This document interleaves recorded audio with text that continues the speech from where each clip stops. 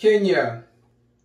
South Korea to finance and build the $1 billion Konza Tech City in Kenya.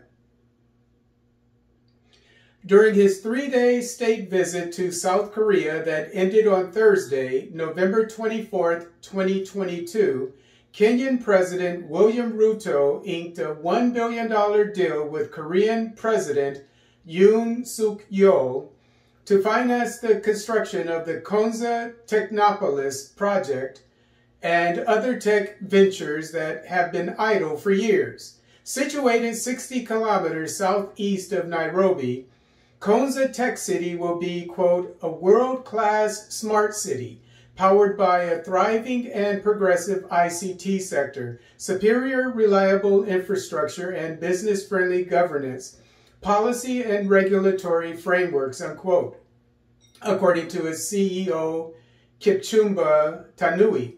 As stated on its website, Konza Tech City plans to facilitate business process outsourcing software development, data centers, disaster recovery centers, call centers, and light manufacturing industries. As reported by the East African, South Korea plans to build the Kenya Advanced Institute of Science and Technology, based on the Korean Advanced Institute of Science and Technology.